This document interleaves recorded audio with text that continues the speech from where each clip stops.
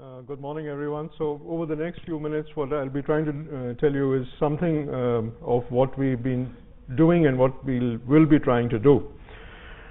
So over the last several years, we've been working on psychiatric genetics for a long time. A long time in psychiatric genetics is about 10 years. So about um, uh, so uh, this is uh, we we realized very early on that because of the collection that NIMHANS and because of our clinical work, lots of people tended to bring relatives to us for illnesses, and therefore we had a very ready access to fairly large pedigrees. This particular pedigree turned out to have a, a nonsense mutation in the synaptogyrin gene, which which was in a particular region of the gene which affected the isoform that was expressed in the brain, which was expressed mainly in the amygdala and the hippocampus, which are regions of interest for schizophrenia. Three people who were ill had carried this stop uh, codon mutation, as did one unaffected person. All these three lived fairly long lives. They all died in the 60s and 70s, and all three are now dead, but they all have um, children.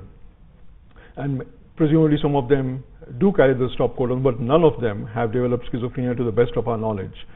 So although we get these rare variants which seem to co-segregate with disease, the story is not very clear and it's right down to the end.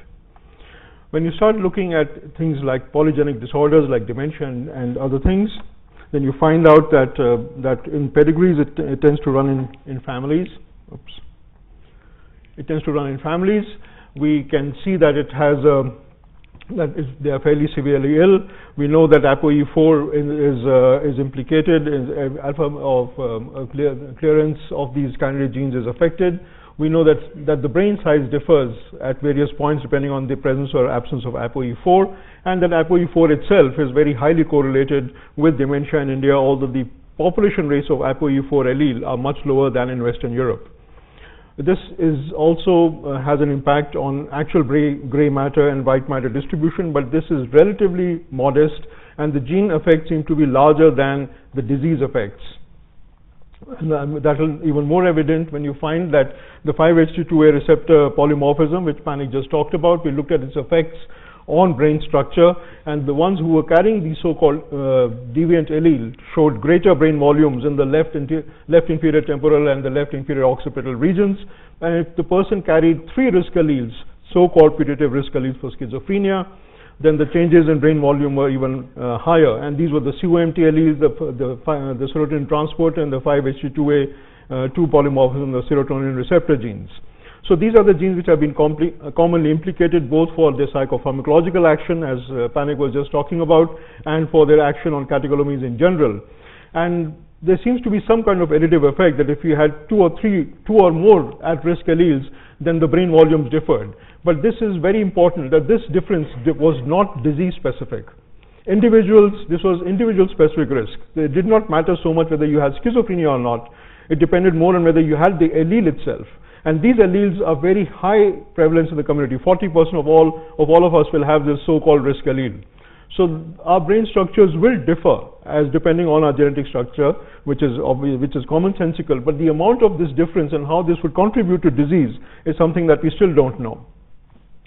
This gets even more complicated when you look at actual behavioral or psychological tests, where you find that on, on detailed neuropsychological testing, siblings of patients who have bipolar disease show similar neuropsychological defic deficits as patients themselves, although they are not ill themselves. So the, the neuropsych deficits or brain function deficits are a different level of genetic uh, sharedness rather than just the affectedness.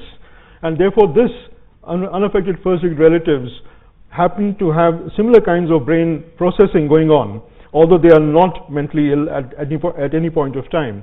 And over the last few years, it, is, it has now become kind of um, shared um, idea or a delusion, whichever way you look at it, that if you have the multiple, multiple uh, genetic loci contribute to various behavioral traits, and behavioral traits is in a very loose term because it can range from circadian abnormalities to early white matter diseases to def deficits in attention. So both structural, behavioral, and very complex core biological phenomena differ as a, as a spectrum. And these obviously start expressing themselves well before birth, and it's only in the presence of certain environmental events, of certain epigenetic influences, that a small proportion of those who carry the risk convert into an actual disease. So all the, the genes for risk to neuropsychiatric disease may be widespread in the population, which accounts for their so-called common prevalence. Only a few of them actually convert into disease. But understanding the basic links between this level of variation, these levels of variation, and through these processes, what actually shifts somebody up here becomes very important. And over the last few years, what has ultimately occurred is this. So we were underpowered, and we are basically basic facing a black blank wall. And uh, this obviously is the great mystery of, of uh, contemporary science. So we thought with the help of NCBS and friends and colleagues at NCBS and INSTEM and various places, we would set this power issue right. So we would take our enriched cohorts, identify these private mutations, identify the rare variants, at least in the common diseases that we see, do very detailed phenotype assessment, it would include clinical, psychological, imaging, and life event uh, data. The biomaterial would be collected using blood, DNA, and the cells. These would be subjected to detailed genetic analysis, and ultimately to genome engineering and disease modeling, which would help us uh, answer some of these power issues that have proved so uh, difficult to address till now. As would be um, over the last 10 years, it's also become very obvious that uh, family-based linkage studies and association studies, which have been the so-called uh, the uh, bedrock of psychiatric studies, have their limitations because these are, as I mentioned, very often turn out to be private, and the frequency in population of these risk alleles is very high, and the total contribution is in fractions of a percentage.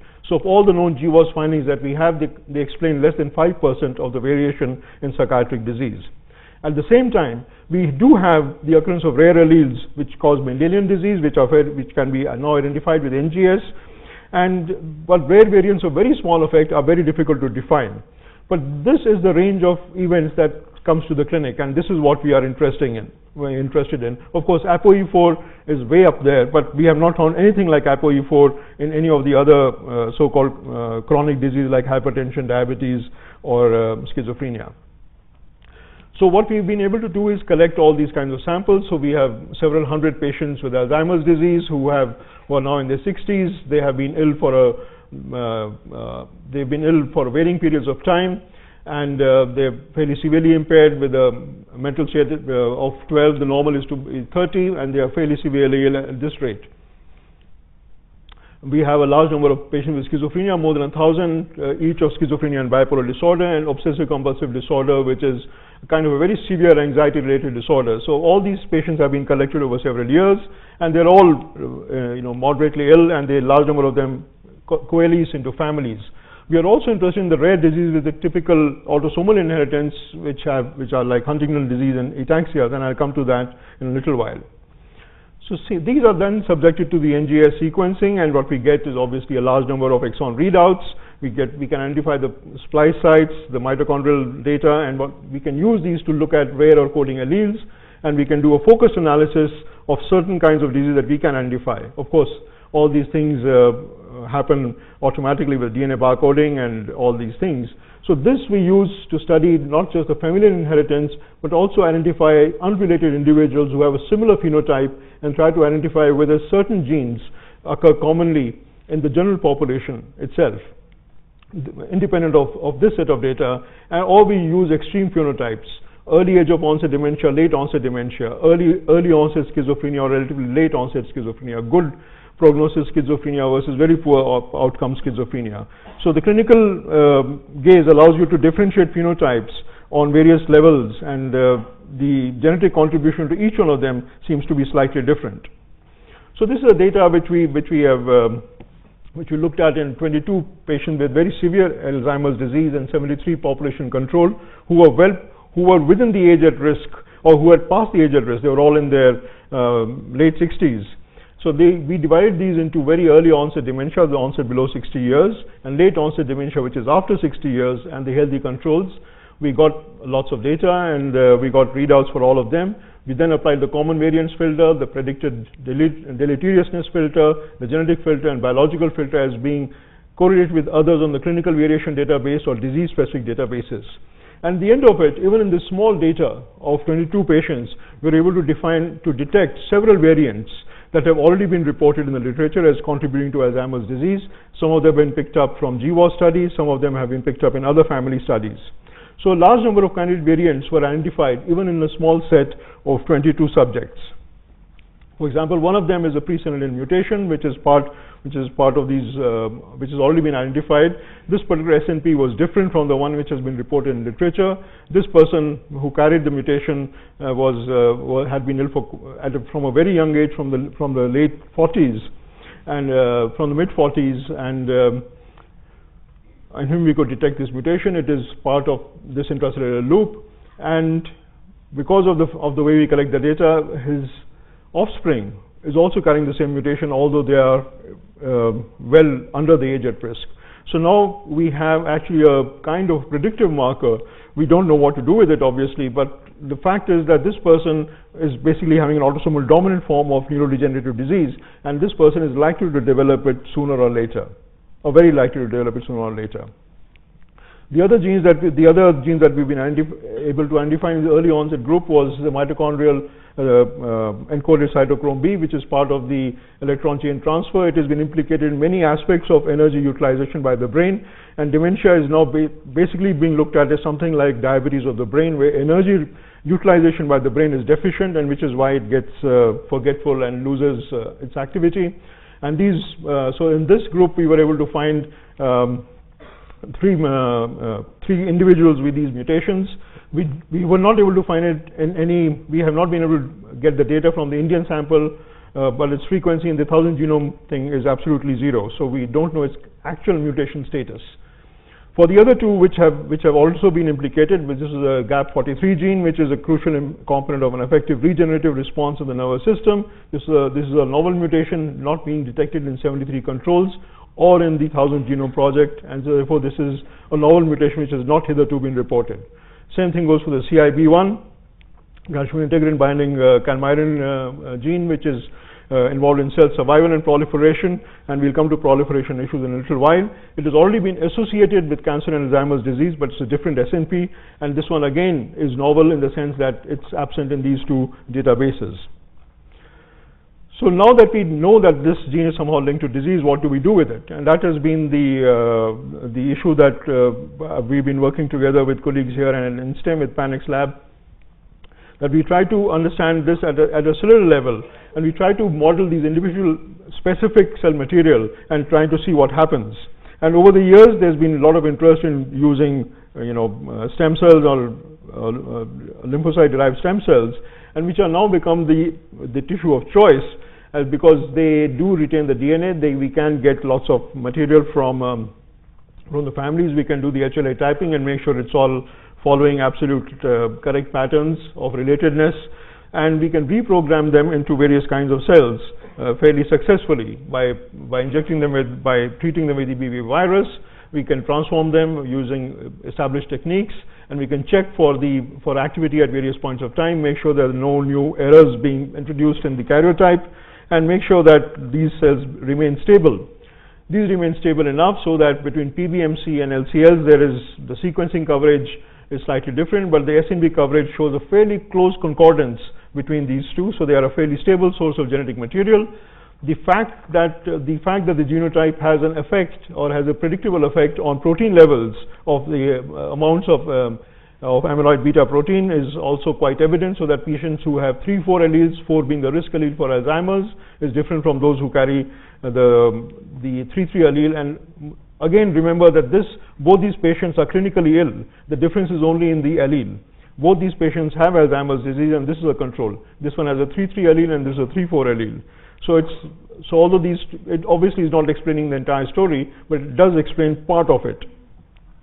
Mitochondrial mass does not differ, but mitochondrial potential does differ depending upon the uh, caseness. So again, we need to get this uh, understood a bit better. Oops, there's a hospital phone.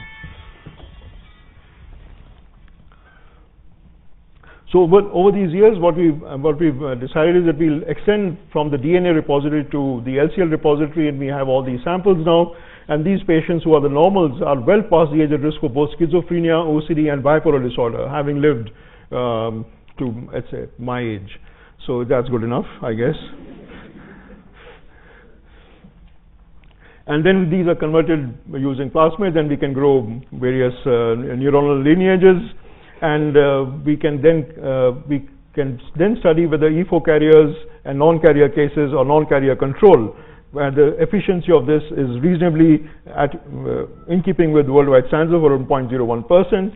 And what Panicker and all showed recently is that uh, that that this is quite successful. The EB virus itself is taken off over time, so that what you get is a is a stable cell population, which is which is correct for all the markers at various points of its differentiation.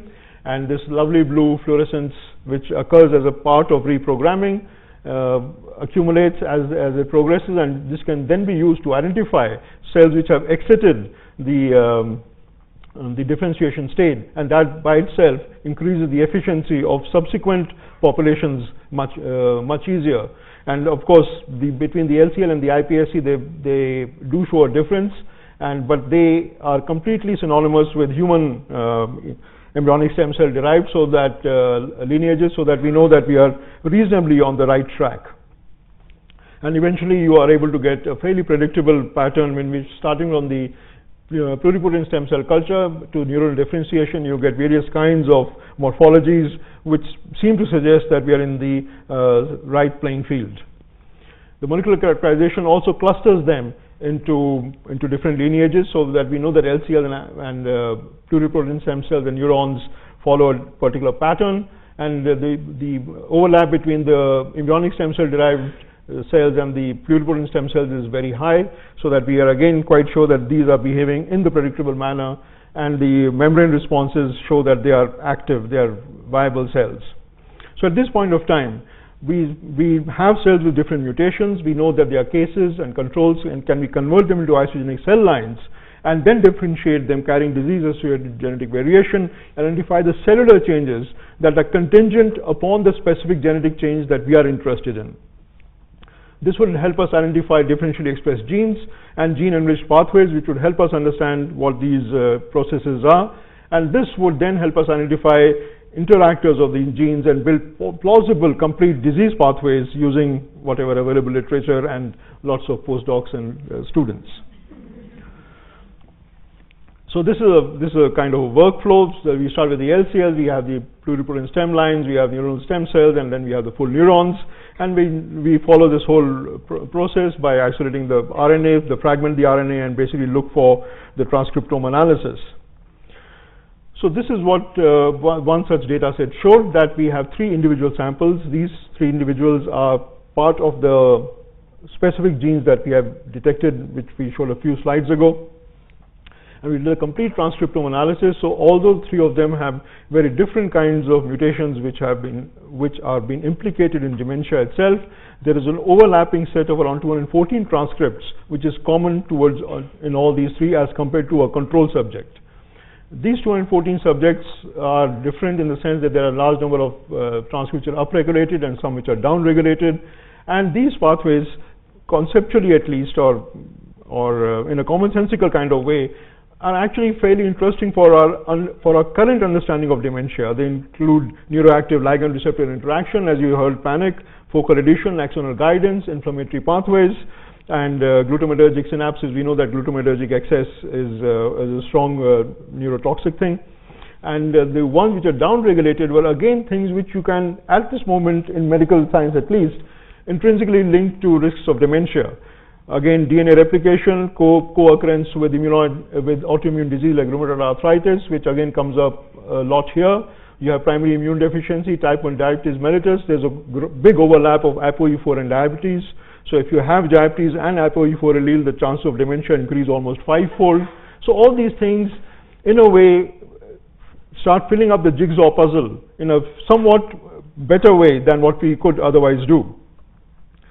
And we, then we started looking at whether this difference is actually gene dependent. So if a person, or allele dependent, so if a person has a 3-4 allele versus a 3-3 allele, has one of the alleles that is contributing to risk, and we then interrogate particular pathways that we think are important in the cause of, in causing dementia, then we find that there are reliable differences between those who have uh, the risk allele, which is the uh, the four allele, so that there are some which are there are some which are underexpressed and some which are overexpressed. Now, this kind of noise cannot be resolved because the, the patients actually come from very diverse genetic backgrounds, and to resolve that, we have been uh, trying to develop the isogenic cell lines so that the person with the E3 allele can then be consciously co uh, converted into an E4 homozygote or E3E4 heterozygote or E2E4. E2 is vaguely considered to be kind of neuroprotective. And then figure out whether just by keeping, by changing one particular allele and keeping the rest of the genetic background constant, how much of these transcriptomic differences are filtered through that filter. Because that would tell us something even more detailed about the nuances of disease causation. This is obviously a work in progress and we don't have the data of, on it right now, but this is where we have reached at this point in time. What we also, uh, if you remember in the beginning, I had shown you some images about MRI images and neuropsychological changes, which we otherwise call endophenotypes. Now, it turns out that the cells themselves can start having endophenotypes because cell cycle abnormalities, so patient-derived cell material tends to reproduce much faster. And Alzheimer's disease has been viewed as something like an accelerated uh, dysregulation, accelerated aging process by which the cells uh, have abnormalities in their in the cell cycle regulation. And in the few cases, and the very few cases that we have seen, there's obviously a depend, uh, detectable change in all these cyclins which are important for uh, for the cell division cycle. So this is very brief in the last two minutes uh, what we are going to talk about. This is uh, the collaboration with NCBS, INSTEM, and NIMHANS. Um, and this is a very nice painting by somebody called the Singh twins, which encompasses everything that we need to know about psychiatry. These are twins who actually sign under one name. And all paintings are produced by these monozygotic twins who dress identical and produce similar paintings. So, and this is all the consultants from NIMHANS who actually converge into groups. So we have an imaging core, we have a genetics core, we have an immunology core, we have biomarkers, cell models, and large number of intervention cores. So these teams of researchers will then interrogate things like dementia, neurodegenerative disease, addiction, schizophrenia, and various other disorders, OCD and, bi and uh, bipolar disorder. Our, our idea is that from Huntington disease or other rare Mendelian disorders like HD and ataxia, to polygenic disorders like dementias, to psychosis, the cognitive impairment, behavioral impairment, are occur along a continuum. The brain pathology is also along a continuum so that you get you get detectable cell loss here, but you get synaptopathies and you get uh, synaptic fallback at this level. Protein aggregation seems to be a problem everywhere and molecular signatures definitely tend to overlap now with many genes and many pathways converging in, within uh, the same syndromes. So what we will try to do is to find out to what the initial disease triggers are on these in these particular families and study what uh, these other endogenous responses or prolonged response of inflammation degeneration are and to find the various interactors and to see what whether we can identify biomarkers etc. The assumption again like I mentioned just give me one minute that these are the core and these are the various disorders we'll identify families with at least two people affected and because of symptoms, similarity, comorbidity, anatomical changes, genetic susceptibility, we will try to develop pathways to do this.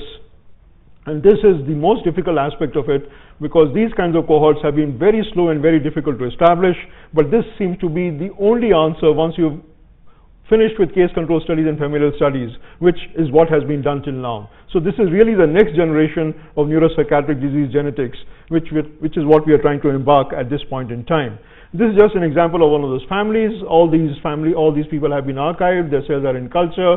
They all have bipolar disease plus thyroid disease plus cannabis-induced uh, cannabis-induced manic syndrome, which is um, which is a larger complex how addiction, psychotic symptoms, behavior, medical disease, and side effects co-segregate with each other. And each one of them is a separate issue. So this is the broad outline of the study. And uh, basically we need to thank lots of people at, at NCBS for, for doing much of this work and their names are all here. A lot of people at, at the NIMHANS end, Manasa, Biju, Mira, uh, John, YC Matthew Verghese, all my clinical colleagues who help get all these families and follow them up over times. One of the pleasures, if you can call doctors ever having pleasures, is to actually see patients coming with their children and grandchildren. So if you realize in this family, we, we saw the grandfather and we are seeing the grandson. So we, we actually have data on the family across three generations in our hospital records. And there are many, many such families which, uh, which, which give us some hope that we should be able to do studies like this without any problem. Thank you very much for your attention.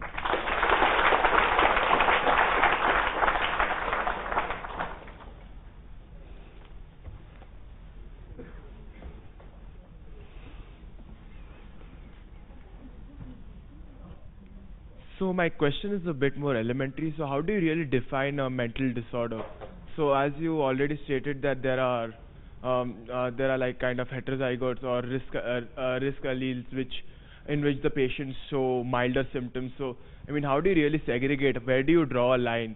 And so wouldn't it be more beneficial to if you actually just go about classifying people uh, people according to symptoms rather than groups of symptoms? Oh, well, you, um, we don't know the rules for making those symptoms. So that's a completely offline. Psychiatric interviewing and diagnosing and syndromes are, I think, well beyond the uh, boredom quotient of this audience. So we can talk that offline. But it, it is it is a very relevant question, and these are things because it's not just a single cross section; it's also over time. So people may be perfectly normal at 15, but may have illness by 25, and they may recover by 35, and then they will have dementia at 60. So do you actually see all this as a single disease or as three different diseases? All these issues need to be understood, and that's where the cohorts are necessary. That's precisely the issue.